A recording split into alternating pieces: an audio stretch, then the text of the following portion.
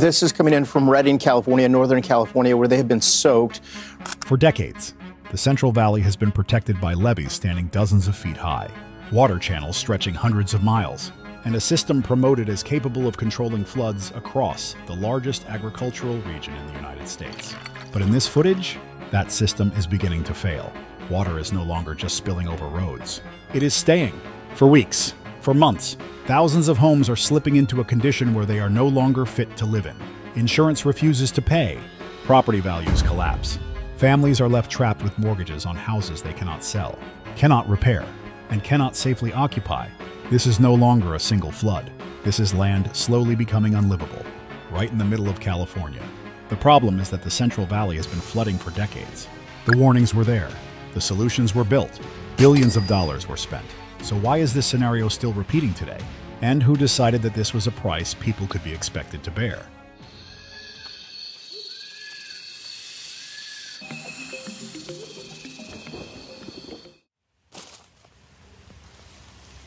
The flood footage authorities said wouldn't happen.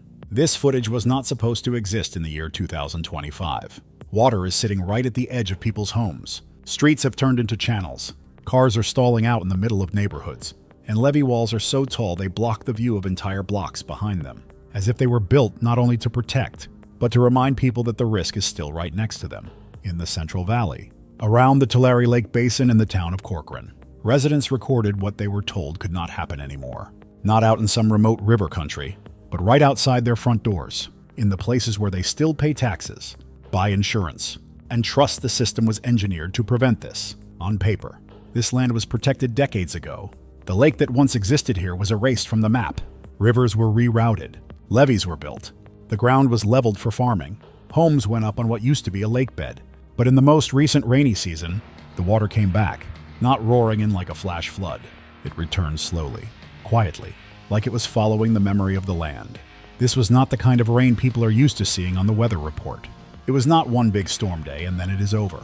It was a chain of atmospheric rivers, one after another, so the ground could not absorb anymore and the flood control system was pushed under sustained pressure it was never designed to carry.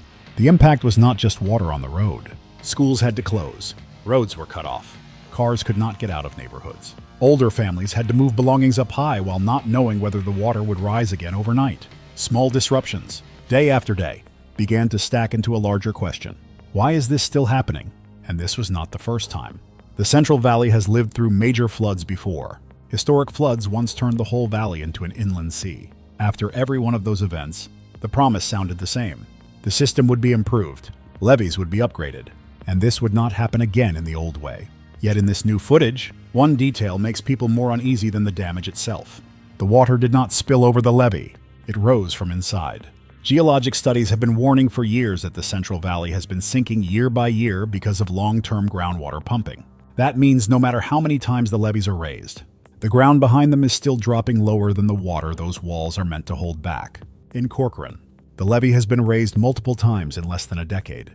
Each raise means more dirt, more concrete, and tens of millions of dollars more in cost. But the land behind those walls keeps sinking, slowly and almost invisibly, until the water shows up. That is not what you hear in a weather segment. On television, people hear about risk levels, forecasts, and strong weather systems. In real life, residents see water sitting at their doorways day after day, not draining, not explained, and not paired with a clear answer for when anything will feel normal again. The frustration does not come from one moment of panic. It comes from a familiar feeling, the sense that this has happened before, the sense that after every flood, the only thing that changes is the water level. While the core questions are left behind, this footage does not capture a disaster that has fully exploded. It captures the moment people realize that despite technology, despite planning, and despite decades of reassurance. They are still living on land that can flood again at any time. And when they look at the flooded roads, the towering levee walls, and the quiet houses sitting behind them, many people start asking something that is no longer technical, but deeply personal. If this has happened before, if people were promised it would not happen again, and it is still happening in the year 2025, then when the next round of rain arrives, is the water coming for your home too? 2. The valley that was always meant to flood. There is an uncomfortable truth that very few people are told directly when they watch flood footage from the Central Valley. This land is not a place that floods attack. It is a place that was chosen to carry water, long before there were homes, schools, and highways. The Central Valley was a natural basin. Water from the surrounding mountain ranges flowed into it and stayed there. For centuries, that was how the system worked. And at the center of that basin once sat a massive body of water known as Tulare Lake. That lake did not disappear because nature changed. It disappeared because people decided this land would be used for something else. Water was diverted through canals. Rivers were rerouted. The lake was drained. The lake bed was turned into fertile farmland. For a long time, this model worked. Water was controlled. Production increased. Towns began to form directly on land that had once been open water. Over time, something important happened. The memory of flooding faded from everyday life. Later generations did not grow up with the idea that they were living on a natural buffer. On the map, it was simply land. On paper, it was property. In the minds of many, it was a safe place, a problem solved long ago. But the landscape does not forget what the map erased.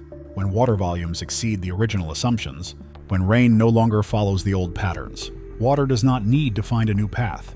It only needs to return to this land's earlier role. A place that was once a lake, a place that once held water on behalf of other regions. This is where the story becomes difficult for many people to accept, because it means that during extreme periods, the system is not asking whether flooding will happen. It is asking a different question. Where will the water go first? And history answered that question a long time ago. Areas that used to be lake beds, places that once served as natural buffers, are almost always the first to take the pressure. When the water comes back, it does not just cause temporary disruption.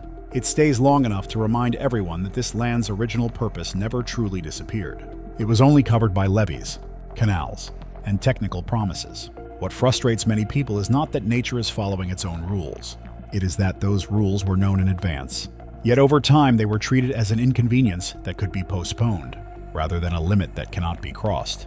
When floods happen, the story is often told as an accident. But to those who understand the history of the Central Valley, it looks more like a cycle than a one time event, a cycle in which water is pushed away when possible and allowed to return when there are no other options. And within that cycle is something that is rarely said out loud. Some places are protected by letting other places flood. You do not need to name a specific decision or person to see this. You only need to look at old topographic maps and compare them with the areas hit hardest by modern floods. The pattern repeats in a troubling way. The communities living here did not choose to become sacrifice zones. They arrived after those decisions were made. They built homes on legally sold land. They pay taxes. They buy insurance. And they trust that past choices were fully resolved. But every time the water returns, that trust is tested. Because if a place was shaped by history to hold water, then no matter how many layers of protection are built, that role can be delayed, but it cannot be erased completely. And when residents see water spreading across fields, roads, and neighborhoods that were once called safe, an uneasy question begins to surface. It is no longer about weather. It is no longer about engineering. If this place was once chosen to flood, if that role never truly disappeared, then how many other communities are living on land meant to carry water? And they just have not had their turn yet. 3 when flooding turns homes into financial traps. There is a moment when, for many families in the Central Valley, everything begins to change. It is not when the rain is at its heaviest, not when water first crosses the road. It is when they realize the water is not going away like it did before. In the early days, many people believe it is only a temporary inconvenience. A few roads closed, some trips postponed, furniture raised higher than usual. But as days pass and the water remains, the story stops being about weather it becomes a story about life being put on hold. Footage filmed by residents shows front yards turning into shallow ponds, garages no longer usable, vehicles left behind, older residents afraid to step outside because of the risk of slipping, because they do not know whether the water will rise again overnight. For them, every inch of water is not just a measurement. It is the line between safety and medical risk. When water stays long enough, costs begin to appear, not loudly, not all at once, but steadily Floors remain damp. Foundations take on pressure. Electrical systems and plumbing need to be checked again. Repairs that seem small at first start adding up into bills many families were not prepared for. And that is when insurance enters the picture. For many people, this is the biggest shock. Many policies do not cover flooding in the way they are experiencing it. Some claims are delayed, others never arrive. At the same time, insurance premiums for the following year rise, a quiet signal that the financial system now recognizes the risk even as daily life has not yet recovered. For families living on fixed incomes, especially retirees. This is more than material loss. It erodes their sense of security. A home that once represented stability in later life becomes a constant source of worry. Every repair decision comes with the same question. Is it worth it? If this is going to happen again? In quiet conversations between neighbors, a new topic begins to surface more often. Not the weather, but the possibility of leaving. Should we sell? Would anyone even buy? What happens to property values if this area is marked as higher risk on insurance maps? These questions are not easy to answer because they reach deeper than money. They touch memory, community, and the feeling of belonging to a place. Many families have lived here for decades. Their children grew up here. They did not come because of risk. They came because this was once a place where a stable life could be built. But when flooding stops being a rare event and becomes a constant possibility, the way people see their homes begins to change. It is no longer just a place to live. It becomes a risky investment they are forced to carry, without ever being asked. What is often missed is that most of this damage never appears in disaster summaries. It does not fit neatly into statistics. It lives in daily decisions. Should we repair? Should we buy more insurance? Should we stay one more rainy season? And when those decisions repeat often enough, a larger question starts to take shape. It is no longer geographic like the last section. It is no longer about warnings like the first. It is deeply personal and very real. If flooding here is no longer temporary, if costs keep rising and the value of the home keeps wearing down, then is staying still a reasonable choice? Or just the delay of a decision no one wants to make? 4. How repeated floods slowly tear communities apart. Flooding does more than damage homes. It changes how a community sees itself. After the water recedes, the clearest signs are not on the pavement. But in everyday life, some families do not return, others stay, but live cautiously, as if everything has become temporary. Homes that are quickly repaired stand next to others that remain empty, creating an uneven feeling that is hard to describe. In areas hit by repeated flooding, a quiet divide begins to form. Families with stronger financial resources can repair quickly, raise their homes, or leave temporarily when needed. Those without that flexibility become trapped. They cannot afford upgrades, but they also cannot sell a property that is increasingly labeled high risk. This gap is not loud, but it is real. It is not the familiar divide between rich and poor. It is the divide between people who still have choices and people who no longer do. As flooding repeats, that distance grows, even among neighbors who once depended on each other. Community life begins to feel the strain. Schools adjust schedules. Small businesses stay closed longer than expected, then never reopen. When a familiar shop disappears, it takes more than jobs with it. It removes part of the neighborhood's rhythm. Gathering places grow quieter, and with them comes the sense that the community itself is shrinking. But the deepest change is in trust. Trust that the system is designed to protect people. Trust that after each flood, fixes will be made so it does not happen again. When flooding occurs often enough, that trust begins to wear away. Residents stop asking only about the weather. They begin asking why the same areas are always exposed first, and why the same reassurances keep repeating while reality does not change. Community meetings grow more tense. Plans are presented, but fewer people believe they will solve the problem at its core. Instead, there is a growing sense that the community is being asked to accept a higher and higher level of risk as normal, rather than being protected from it. When that continues, flooding is no longer seen as a natural event. It becomes a social test, a test of which communities are protected first, which are asked to wait, and which are slowly left behind. If one place is expected to carry risk so that another can remain safer, how long can that community endure before trust finally breaks? 5. Why flood fixes keep failing the same places. After every major flood, the same pattern appears. Reports are released. Meetings are held. Emergency funding is allocated. On paper, it looks like the problem is being addressed.